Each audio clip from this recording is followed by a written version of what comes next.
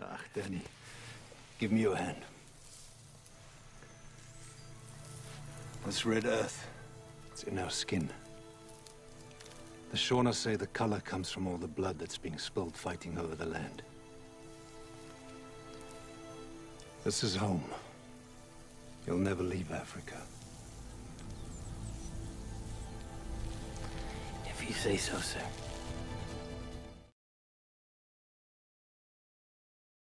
Drank that as a boy. in Rhodesia. Take notes.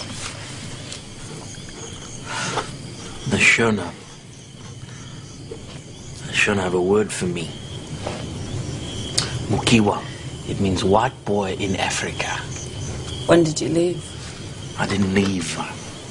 I got sent away to South Africa in 1978 with the Muntzer ran us. Then you joined the army. Yeah.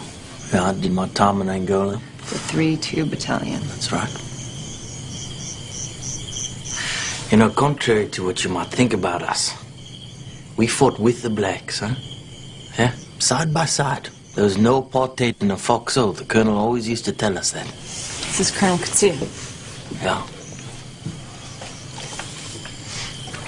And of course, it's 1994. No more army, no more apartheid. Truth and reconciliation and all of that rubbish, you know. Kumbaya. Hmm. We fought and died together, you know.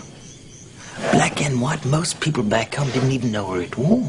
We thought we were fighting communism, but in the end, it was all about who gets what, you know? Ivory, oil, gold,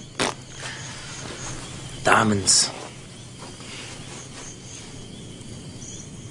So one day I decided, fuck it, you know? I'm gonna get mine.